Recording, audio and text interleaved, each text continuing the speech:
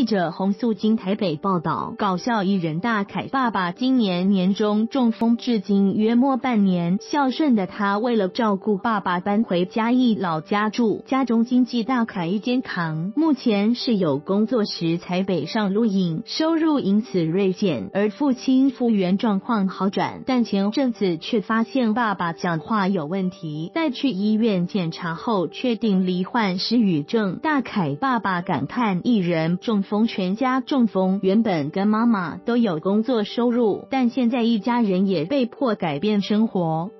三十六岁的大凯因爸爸意外中风，家中经济重担落在他身上。他表示，现在目前靠着租金还能维持爸爸医疗费以及家中支出。然而，他特别感谢同为嘉义帮的沈玉玲，感谢沈玉玲传授演艺圈生存守则，拉拢人脉资源。下阶段将计划上网做乐谱下载与教学，开辟新事业，增加收入，照料爸爸。